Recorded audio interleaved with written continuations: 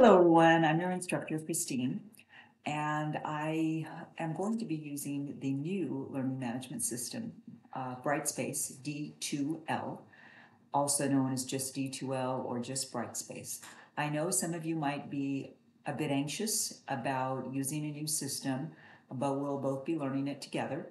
I have taken some training, but I will tell you right now, I will make mistakes. I know you'll make mistakes, and we're going to learn this thing together. If you didn't know, La Verne is changing over fully to Brightspace starting fall 2024. So I'm what is being called an early adopter uh, of this learning management system. Enough of that. Um, I have included in this announcement a link to the um, a series of videos that are tutorials for students um, who are called Learners by Brightspace. And so if you need any help, please reach out to me or the help desk um, at laverne.edu.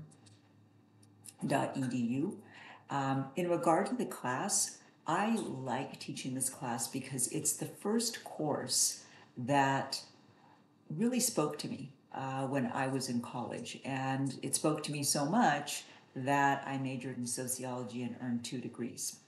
Um, I consider myself a lifelong learner.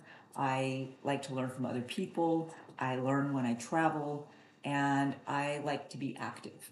Um, in regard to this course, uh, I hope that you keep an open mind, that you are willing to learn from others. I always learn from students, and so I look forward to your participation in this course.